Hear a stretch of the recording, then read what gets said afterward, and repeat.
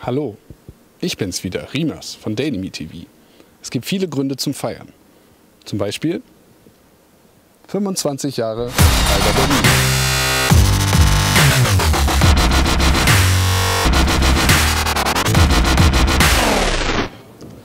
Hallo, hier ist wieder Daily Me TV mit Alba Berlin und den Alba Channel. Heute eine Basketball-Legende bei uns, Mita Demirel. Hallo. Hi.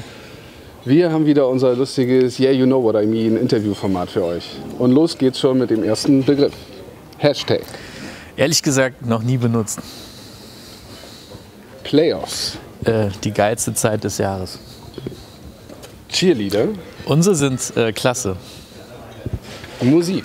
Ab und zu im Auto. Und als letztes Offline. Offline bin ich eigentlich nie, auch irgendwie scheiße. Aber dank Daily Me TV kann ich äh, die Playoff-Highlights auch offline gucken. Perfekt. Das war's von uns. Bis zum nächsten Mal. Tschüss.